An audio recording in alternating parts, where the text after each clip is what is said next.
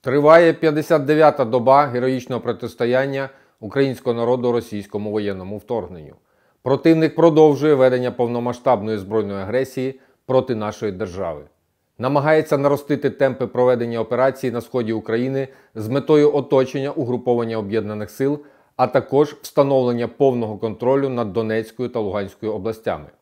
На Волинському і Поліському напрямках противник активних дій не проводив. Ознак формування наступальних угруповань не виявлено.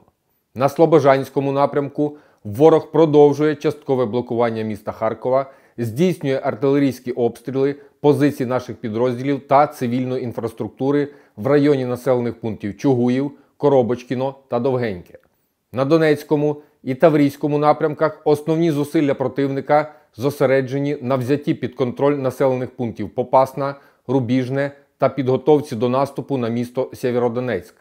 В районі населеного пункту Мар'їнка та на більшості інших напрямків в ході бойових дій ворог успіху не має. На південно-бузькому напрямку окупанти активних наступальних дій не проводили, здійснювали поодинокі обстріли наших підрозділів зі ствольної артилерії. За наявною інформацією, ворог має суттєві проблеми з медичним забезпеченням своїх підрозділів. Існують труднощі з евакуацією поранених, не вистачає медикаментів. Через зростання числа поранених у місті Балаклея ворог одночасно з розгорнутим військовим шпиталем використовує можливості міської поліклініки. У місті Вовчанськ, що є тимчасово зайнятим, молодший медичний персонал закладів охорони здоров'я примусово відправляється для надання першої медичної допомоги до підрозділів противника, що перебувають на лінії зіткнення з силами оборони України.